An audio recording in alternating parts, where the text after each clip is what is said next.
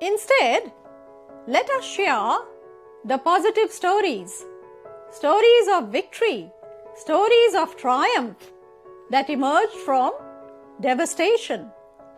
For instance, the story of newly widowed Tazuko, who restarted the family soba restaurant to bring up her fatherless children.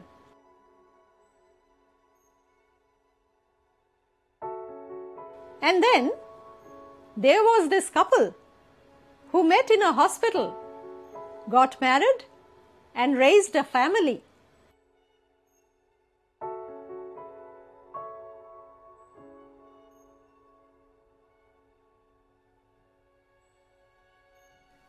The mother who lost her baby boy.